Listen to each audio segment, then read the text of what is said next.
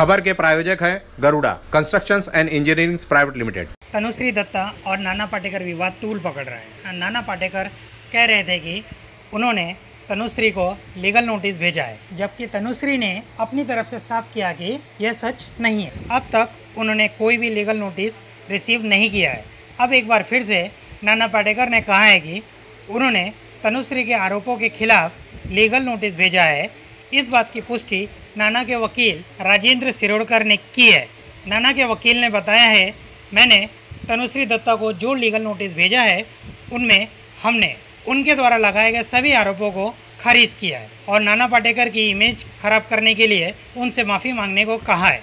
उन्होंने ये भी कहा है कि इस बारे में अभी बहुत कुछ नहीं कहा जा सकता है, लेकिन ये ऐसा क्यों कर रही हैं? इसके बारे में कोई जानकारी नहीं है। उनके वकील ने कहा है कि नाना जल्द ही मुंबई वापस आकर इस मुद्दे पर प्रेस कॉन्फ्रेंस करेंगे।